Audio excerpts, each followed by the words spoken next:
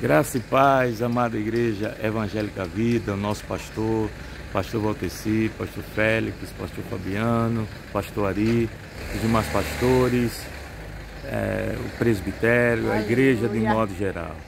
Estamos fazendo esse vídeo como para agradecer os irmãos, para demonstrar a nossa gratidão pela graça de Deus manifestada entre vós em, em, em, para com as nossas vidas. Amém. O francês já está querendo atrapalhar para com as nossas vidas. Muito obrigado, meus irmãos. A gratidão para Deus é muito cara.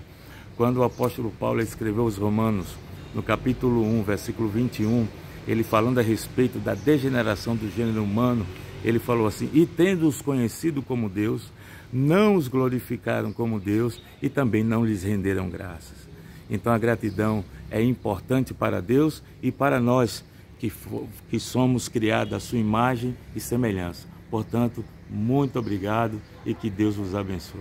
Amém. Queridos irmãos, a paz do Senhor Jesus, a paz do Senhor, nossos queridos pastores, presbitério, toda a amada igreja. Quero agradecer a cada irmão que contribuiu para a compra deste veículo, a compra deste carro que será de grande bênção para a obra do Senhor. Amém. Muito Aleluia. obrigado você que foi usado pelo Senhor num tempo tão difícil para contribuir na obra de Deus, para contribuir na compra de um veículo no campo missionário. Muito obrigada, pastor Valteci, pastor Félix, Amém. pastor Fabiano, todos os pastores, presbíteros, diáconos, diaconisas, todos irmãos, nosso grande abraço e nossa gratidão a Deus pela de vida dos irmãos e a igreja. Amém. Que o Senhor vos retribua. Amém. Os irmãos semearam no terreno fértil do reino de Deus e grande será a colheita. Amém. Pois a colheita sempre é maior